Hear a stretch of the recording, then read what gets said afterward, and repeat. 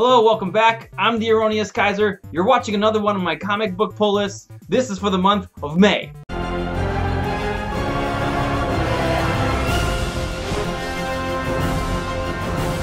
I get these comic books from Discount Comic Book Service, or DCBS as I'll be calling them from now on. I do live in Japan, uh, so there is a bit of a delay. These are comics that have come out in probably early April and are just getting to me now. These are the new issues that I'll be reading this month. Alright, first up, this is the only new series that I'll be picking up this week. This is number one of Brothers Dracul from Aftershock Comics. This is a third series that Cullen Bunn is writing for Aftershock Comics, and I think the premise is pretty cool. It's about the two brothers, uh, so Vlad Tepes Dracul uh, and his brother, uh, them growing up together, and how, I think, how Vlad then becomes Dracula.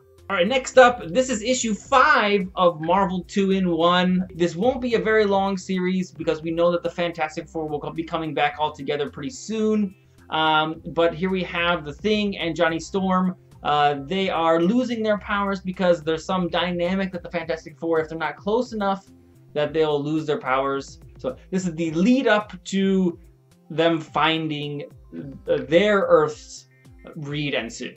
Another series that's been going on for a little while, but that I really do enjoy, so I decided to get the floppies, is Aquaman. Uh, so far, uh, Aquaman has been dethroned, uh, and this is, I think this is going to show a little bit of the backstory of the guy who has taken over. Uh, Mera is on land, she can't help, uh, and so this is all about uh, Aquaman going into kind of the the underclass, the, the poor people of, of society, and needs some of the criminal elements to try to get them to help him take back his throne. Uh, we do see, yeah, Dolphin's been in here for a little while, uh, and the, the art inside has been really good uh, for the most part. Uh, there have been some revolving artists, but uh, I, have been really enjoying it, and so this is definitely going on my regular pull from now on. Alright, next up is issue 2 of Gideon Falls, uh, book by Jeff Lemire, art by Andrea Sorrentino. I don't know how to say it. Andrea, Andrea, I'm not sure. While I'm not the biggest fan of Andrea Sorrentino's art, I am a huge fan of Jeff Lemire's story writing. First issue was very cool. Uh, I think it's going to go some very dark places, and I'm very excited about it. All right, next up we have issue two of Oblivion Song. This is by Robert Kirkman. You know, you might know his name from writing other things like Walking Dead, uh, Invincible, uh, Outcast. Uh, I'm not really that big of a fan of Outcast though. Ended on kind of a really nice cliffhanger for issue one, and I'm, uh, yeah, uh, Robert Kirkman definitely does write some really good stuff most of the time. We got uh, two issues of Teenage Mutant Ninja Turtles. This is 80. Uh, this is Invasion of the Triceratons Part 5, which I think is the final part in this arc. And here I have issue 81, which is starting a new arc, uh, which I think will involve the Rat King. X-O War. this is number 12, and this is 13. There is just a whole bunch of turmoil uh, within the planet that now, uh, Erik is the emperor of his friends and allies, uh, or very quickly uh, turned around to try to know, get him out of power. And it seems like maybe some of them, their motives are actually altruistic. Uh, however, others are a little bit more shady. But overall, it is amazing storytelling. Here we have Wonder Woman. This is number 43 and 44. Now, both of these are the Jenny Frison variants or the B variants for these. I'm excited that I think in two months uh, or a month and a half or something like that, we're going to have Artgerm doing some covers as well. Uh, I think I might have to get both the A and B covers if that, if and when that happens. Avengers, No Surrender, Part 11, Part 12, Part 13, and I still believe not the end quite yet, part 14. I said before I was a little disappointed with the unoriginality of this whole arc, uh, but it is still entertaining. All right, here I have Descender number 28. Man, an amazing comic. It's another one by Jeff Lemire. As I said before, I'm really a fan of his writing.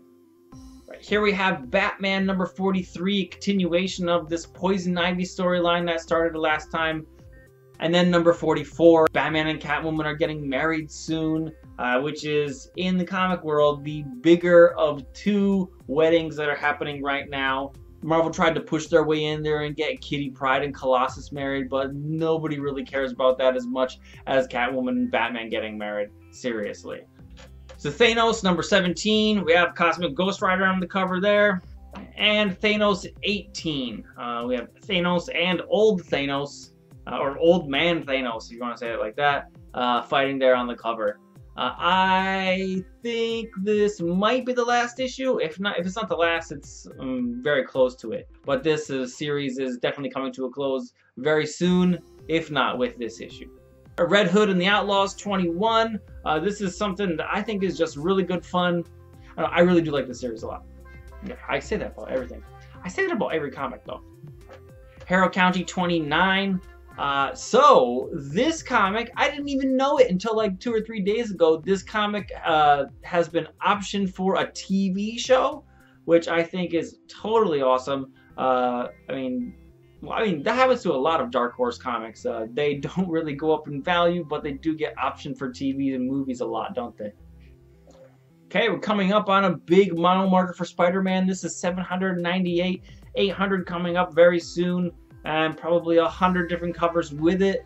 Uh, but uh, there has been a lot of talk about this arc right here with uh, well Red Goblin coming up uh, with a hopefully here I guess with a full reveal of who actually is Red Goblin. And I still think it's just going to be Norman Osborn. Right, and Dark Nights Metal number six of six. So this is the final issue in this series. I do hear things that the fans were disappointed that it got like wrapped up too quickly. It just uh, came to everything came to a head to, and was over too quickly. And I guess that was kind of disappointing. Uh, just looking from the cover there, uh, we I'm guessing that they just get a whole bunch of good Batmans from different universes and take out the bad Batmans. All right, this is a series we got a quite a ways to still to go. This is number 4 of 12 of Doomsday Clock. I'm still not sure why Rorschach's a black dude, um, and I'm sure they've kind of hinted at stuff, but maybe not fully explained it. Or maybe I'm just too dumb and missed the explanation. But either way, this is really cool. I really am enjoying it. Part 5 of another 6-part series. This is Demon Hell is Earth.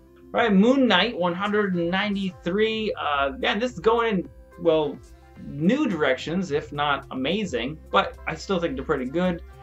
All right, here we have another milestone. This is saga number 50.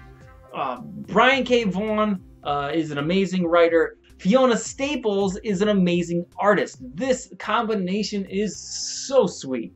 All right, this is definitely has been for a while and still is my favorite comic book.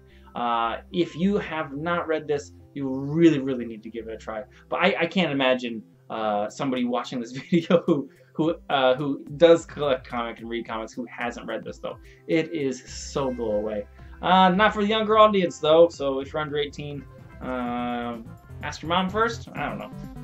All right, there you have it. Those are the new issues that I'm going to be reading this month.